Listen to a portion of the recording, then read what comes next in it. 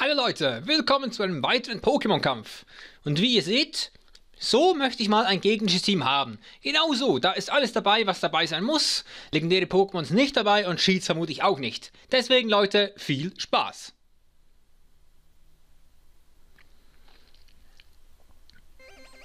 Und da geht's los. Wir kämpfen gegen Sascha. Sascha beginnt mit Schildi. Ein schöner Name für ein Turtok. Schildi. Gefällt mir. Aber zu seinem Pech beginne ich mit Blitzer. Nicht ganz so cool für ihn, aber er bleibt drin. Ich setze meinen Voltwechsel ein, einfach um schön Damage zu machen. Was sogar ausreicht, um sein Schild zu vernichten. Perfekt. Und ich wechsle aus. Muss ich ja wegen Voltwechsel. Und es kommt dafür rein Fiaru. Und es steht 6 zu 5 für mich. Ohne irgendetwas. Dann kommt Assel, was ein Rexblizzard ist. Nicht unbedingt eine gute Wahl, wie ich finde, gegen einen Fiaru, aber Irgendetwas hat er sich vermutlich schon dabei gedacht.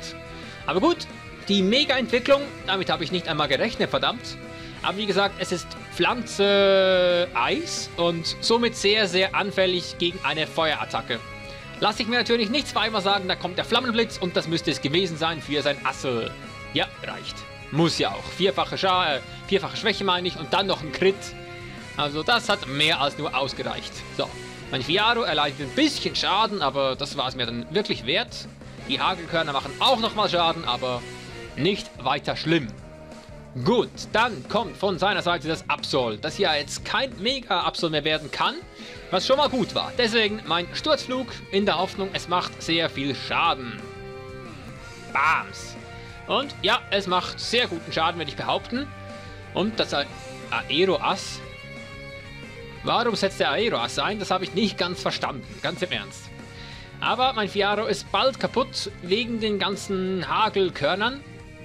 Aber ich hoffe, ich hoffe einfach mal, ich kann es jetzt... Nee, ich greife nicht an, verdammt. Ich weiß gar nicht mehr, was ich gemacht habe. Okay, ich heile mich erstmal hoch. Hoch, ja, hoch vor allem. Ich heile mich hoch, weil ich meinen Fiaro nicht verlieren möchte. Und jetzt kommt seine Psychoklinge. Warum erst jetzt? Gut, viel Schaden macht es eigentlich auch nicht. Aber trotzdem. Ja, und es bekommt auch Schaden, das ist sehr gut. Aber irgendwann muss es doch mal aufhören zu hageln. Noch nicht fünf Runden um? Offenbar nicht. Ich heile Fiaro noch einmal hoch, einfach in der Hoffnung, dass er nochmal mit irgendetwas Schwachem angreift. Oder, oder dass irgendwann... Wow, Spukball. Auch nicht schlecht. Und es macht mir quasi keinen Schaden. So möchte ich das sehen. Die Hagelkörner wieder. Aber gut, ich bin, ja, genug geheilt, glaube ich, um anzugreifen. Nachdem ich mich noch einmal mit Überreste geheilt habe. Das muss natürlich auch sein. Gut, greife ich an. Ja, ich greife an mit dem Stahlflügel, aber absolviert ab. Da habe ich mir auch fast in den Arsch gebissen und gedacht, ah, leck mich doch. Aber immerhin, das Hageln hat aufgehört. Ich heile mich mit Überreste noch ein wenig hoch. Reicht nicht ganz für 50%. Aber ich dachte mir, komm, das Absol muss weg. Ich setze Flammenblitz ein.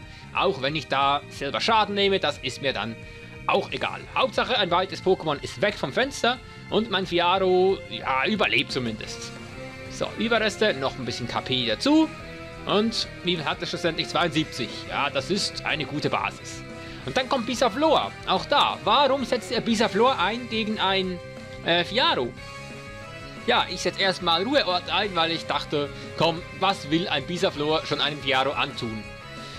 Außer natürlich genau das.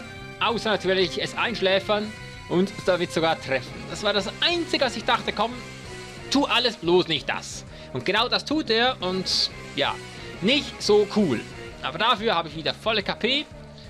Aber dafür ein schlafendes Pokémon. Und jetzt setzt er Giftpuder ein.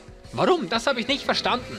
Aber zu meinem Glück wacht Fiaro endlich auf. Was heißt endlich? Sofort wieder auf und mein Flammenblitz erledigt natürlich das Bisaflor. Ohne Wenn und Aber.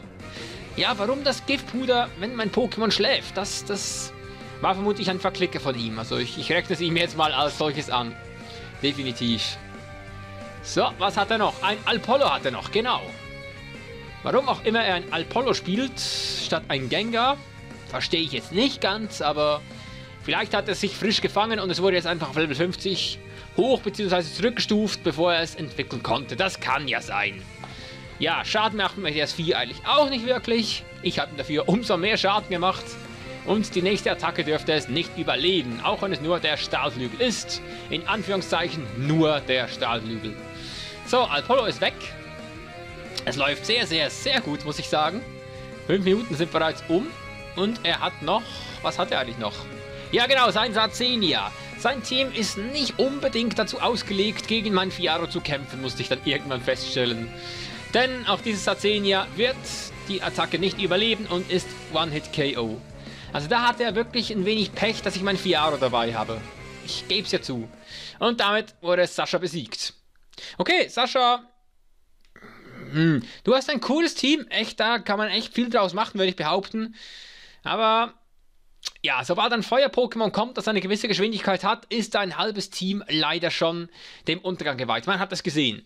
Aber da ist viel Gutes dabei. Das Team gefällt mir echt. Vielleicht kämpfen wir irgendwann wieder zusammen. Und zu meinen Zuschauern sage ich vielen, vielen Dank fürs Zusehen und bis zum nächsten Mal, Leute. Macht's gut. Tschüss.